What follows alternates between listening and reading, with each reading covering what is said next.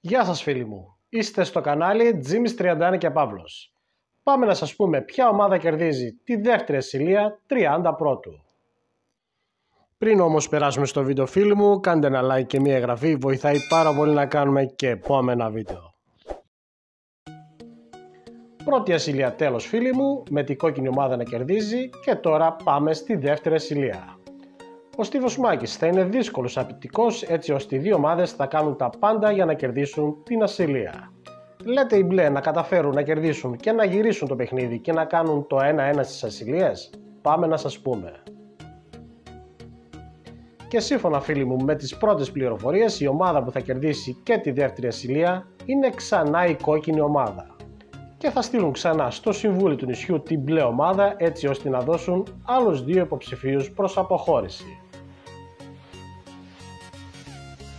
Αν σας άρεσε και αυτό το βίντεο φίλοι μου μην ξεχνάτε να κάνετε ένα like και μία εγγραφή και εμείς τα λέμε σε επόμενο βίντεο.